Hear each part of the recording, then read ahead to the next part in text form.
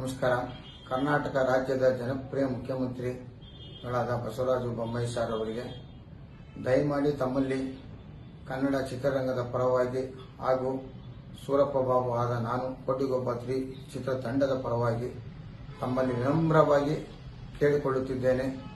ಮಹಾರಾಷ್ಟ್ರ ಸರ್ಕಾರವು ರಾತ್ರಿ ಹನ್ನೆರಡು ಗಂಟೆವರೆಗೂ ಕರ್ಫ್ಯೂನ್ನ ಆ, ಸಡಿಲಗೊಳಿಸಿ ರೆಸ್ಟೋರೆಂಟ್ ಹಾಗೂ ಚಿತ್ರಮಂದಿರಗಳು ಎಲ್ಲವನ್ನು ಓಪನ್ ಮಾಡಿದ್ದಾರೆ.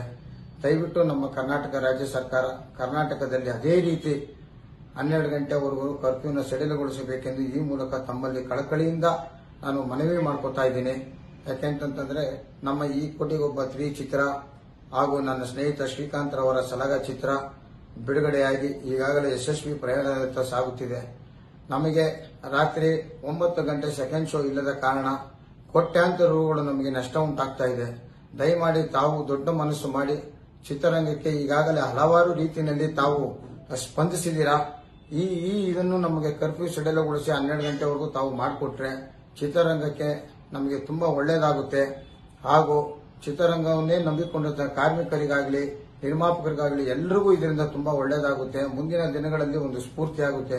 ತಾವು ದಯಮಾಡಿ ಈ ನಮ್ಮ ಮನವಿಯನ್ನ ತಾವು ಈ ಕೂಡಲೇ ತಮ್ಮ ಗಣನೆಗೆ ತೆಗೆದುಕೊಂಡು ಆದಷ್ಟು ಬೇಗ, ಅಂದ್ರೆ ನಾಳೆಯಿಂದನೇ ಈ ಕರ್ಫ್ಯೂ ಶೆಡ್ಯೂಲ್ ಜಾರಿಗೊಳಿಸಬೇಕು ಅಂತೇಳಿ ತಮ್ಮಲ್ಲಿ ಮತ್ತೊಮ್ಮೆ, ಮಗದೊಮ್ಮೆ ತಾವು ಸಾಷ್ಟಾಂಗ ವಂದನೆಗಳೊಂದಿಗೆ ತಮಗೆ ನಾನು ಮನವಿ ಮಾಡ್ಕೊತಾ ಇದ್ದೀನಿ.